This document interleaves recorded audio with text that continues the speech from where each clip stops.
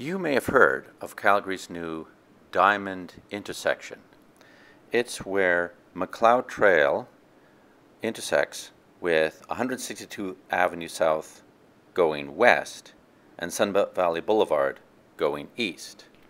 You may have seen some of the theoretical videos. What is it like to actually drive it? Now, for the purposes of this video, I won't worry about driving straight through in Macleod and I won't worry about any right turns through this intersection.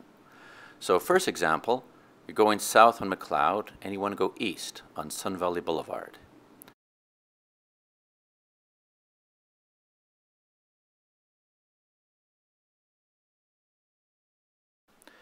And one thing you may notice when you come around is the lines painted on the road can be a little bit confusing. But once you find the proper lane, you're okay. In fact, from the ground view level, you don't really notice the strange crossover pattern at all. It looks normal. Now here, we are going straight west over Macleod Trail. Again, it's just a matter of choosing the correct lanes.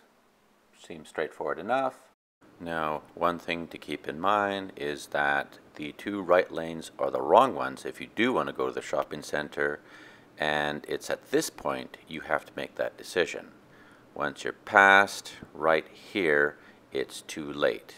You're going straight or you're turning right.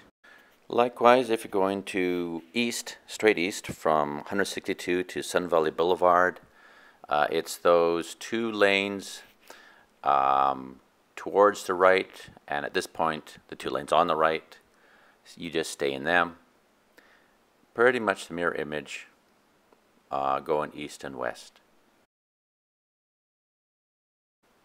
Now, if you're coming either from the east on uh, Sun Valley Boulevard or from the south from Macleod Trail, headed north, I should say, and turning east, and you're headed for the uh, shopping center, Shawville Shopping Center, you must get into this lane right away. And you are committed to making that left turn on Shawville Boulevard South.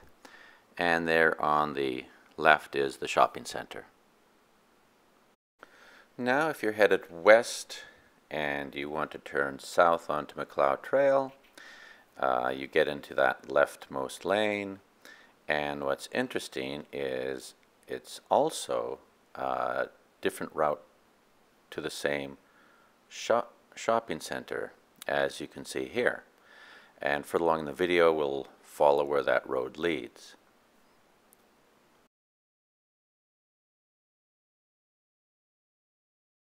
And if you're headed north on Macleod and you want to turn west onto 162nd Avenue South, it's pretty straightforward here as well. Um, not much to say there, other than if you look to your right, you see traffic going the other way, which was a little interesting. And if you're headed east and you're turning north, you actually have two lanes to choose from. And what I like about this is those two lanes, as you'll see, go on for a fairly long time, so there is no big rush to merge left. Now, if you're headed south on Macleod and your destination is the Shawville Shopping Center, as it turns out, you actually don't go through the intersection at all. You go right underneath it and you merge up with that. You'll remember that second route to the shopping center I mentioned earlier? Well, you go under, you go through, and on the left is the lane I pointed out to you earlier, which this merges into.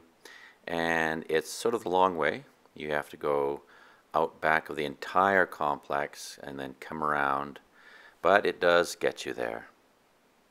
Now, I can see a lot of people leaving the shopping center to head north on Macleod Trail, and just want to point out that uh, merging left was easy on the Sunday afternoon that I drove, but uh, could be a little tricky when the traffic's heavy And uh, I got to check a lot of the two uh, arrows going the opposite direction in the, what looks like the same lane on the very left.